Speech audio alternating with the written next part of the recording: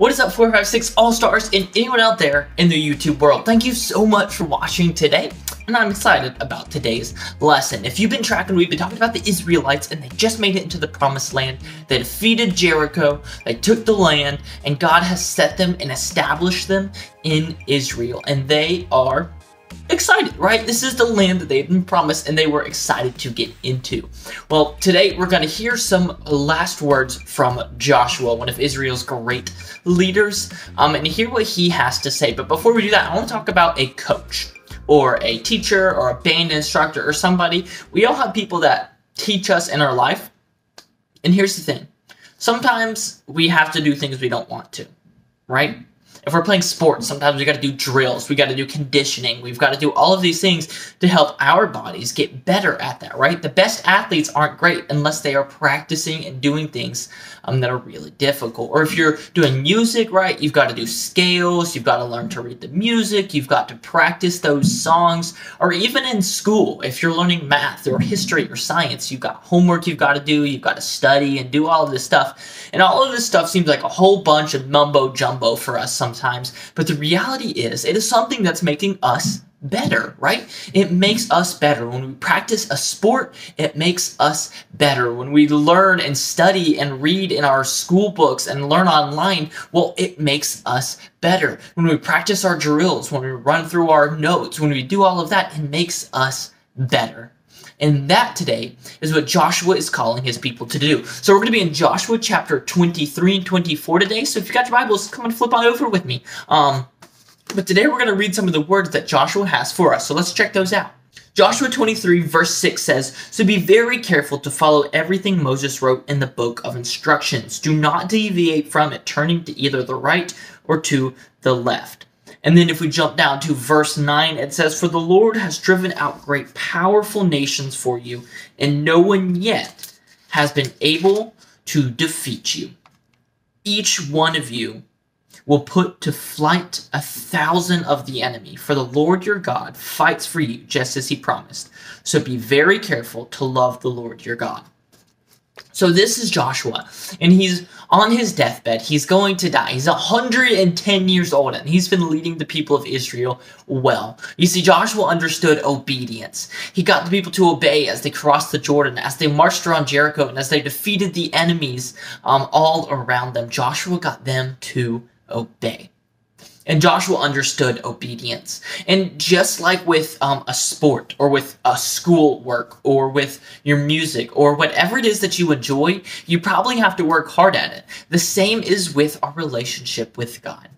You see, it's not just a simple, all right, I, I, I read the Bible and I'm done, right? It also requires obedience, and obedience requires effort, and we have to know what God calls us to do. You see, Joshua is calling the people of Israel to go beyond just understanding the book, but also obeying it and trusting the God who the book is about, right? The Bible is one big story about who God is. And when we trust who God is, and we obey him. Because we trust him we obey and because we obey we grow closer with him right? All of these things are difficult right? And not always fun right? It's a lot more fun to uh, be cool with your friends and like make fun of that that one kid at the lunch table but so what god calls us to do? No. Sometimes it's the harder choice. Sometimes it's standing up for what we know is right. Um, or really digging your heels in and actually cleaning your room instead of avoiding it. Or, or or your sibling says something unkind to you and instead of saying something come back or just hating them you decide to walk away or say something kind back right? All of these are really hard choices and they're not the choices we want to make at first but god calls us to obey you see, the people of Israel swore a covenant, and, and Joshua told the people, hey, if you obey God, he will be with you, but if you disobey, he will not. Um, and ultimately, as we read the story, we get to see what the people of Israel choose. But guys, when we follow God and his commands, it might not be the easiest choice, but I promise you it is the best. Just like choosing to practice your drills over video games or choosing to um, do a few more sets of your scales over reading a book, whatever it is, um, when we choose to obey God and we choose the hard choice, He will reward us for that. It may not be the easy choice, but it is a choice that will come with many many benefits. So guys, thank you so much for watching. If you want to see the full story, you can check that out after this video. If not, I'm going to see you guys next week. I hope you have a wonderful week and that you guys practice obeying the Lord and choosing some of the harder choices because it will always, always, always turn out better for you in the end. Bye guys.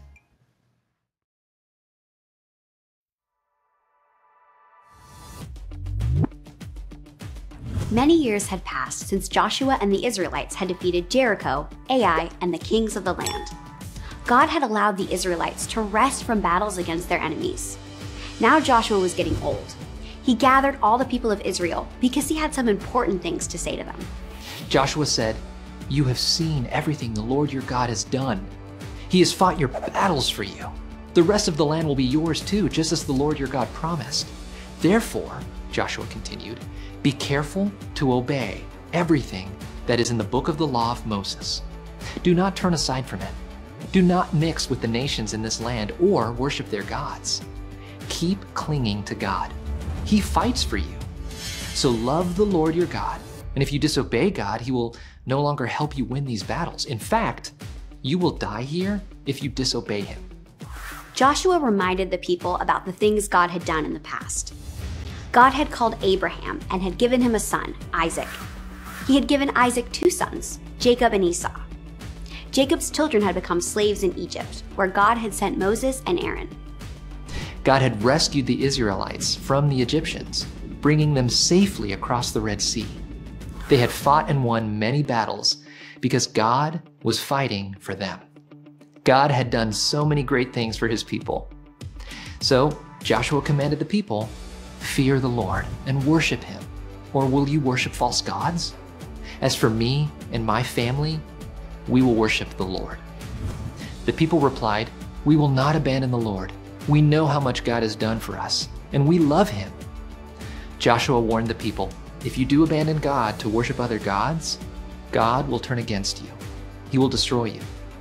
No, the people replied, We will worship the Lord. On that day, Joshua made a covenant with the people.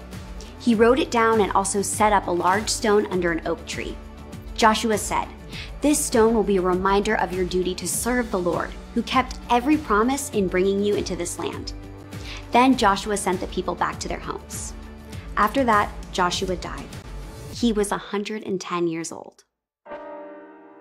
As Joshua prepared for his own death, he left behind a legacy of obedience to God. And after Jesus' death and resurrection, he appeared to the disciples and left them with a legacy too to obey him by making disciples of all nations.